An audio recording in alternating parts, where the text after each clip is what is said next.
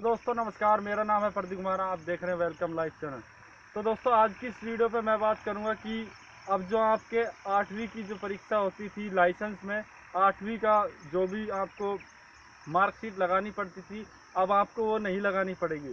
क्योंकि अब जो ट्रांसपोर्ट के जो भी हमारे मंत्री हैं, नितिन गडकरी, उन्होंने अब बड़ा फैसला लिया है और फैसला ये है कि हमारे देश के अंदर ड्राइवर तो बहुत होते थे, लेकिन उसके पास न तो कोई क्वालिफिकेशन होती थी आठवीं की या दसवीं की, क्योंकि जो अच्छे ड्राइवर होते हैं, मान लीजिए, या छः सात साल आठ दस साल से वह गाड़ी के ऊपर चले जाते हैं।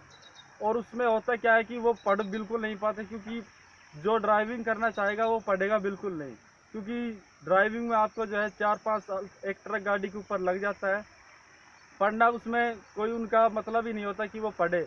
लेकिन जब वो ड्राइविंग सीख कर और फिर कुछ करना चाहते हैं, मान लीजिए कोई लाइसेंस बनवाना चाहते हैं या फिर कोई नौकरी देखना चाहते हैं तो उसमें उनको बहुत परेशानी आती है। ड्राइवर तो वो अच्छा है, लेकिन वो लाइसेंस नहीं बनवा सकते तो इसमें होता क्या है कि हमारे जो भी ट्रांसपोर्ट की बहुत ज़्यादा गाड़ियाँ होती है, उनमें ड्राइवर की पूर्ति नहीं कर पाते।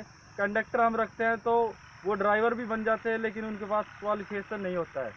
तो अब जो हमारे ट्रांसपोर्ट के मंत्री हैं, उन्होंने एक बड़ा फैसला लिया है और नितिन गडकरी जी ने कि या एक या दो महीने बाद एक नोटिफिकेशन जारी किया जाएगा, उसमें यह डिक्लेयर कर दिया जाएगा कि अब जो भी हैवी लाइसेंस बनवाएगा, उसमें आठवीं की परीक्षा होगी या नहीं होगी, कोई मार्कशीट उनकी लगेगी या नहीं लगेगी।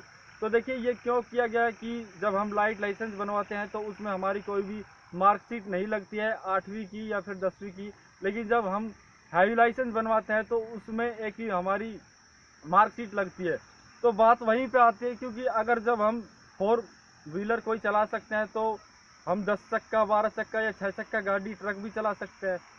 क्योंकि सड़क पे तो हमें गाड़ी वही चलानी है और उतने ही नियम होते हैं।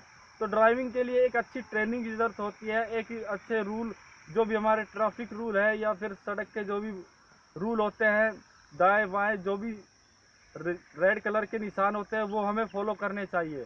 इसमें ड्राइवरी में ये नहीं होना चाहिए कि हमें दसवीं या बारहवीं, वो हमारी एक जब हम किसी नौकरी के लिए तलाश करते हैं या फिर किसी आर्मी या कुछ अन्य नौकरी के लिए जाते हैं तो हमें ये सब चीज़ें चाहिए।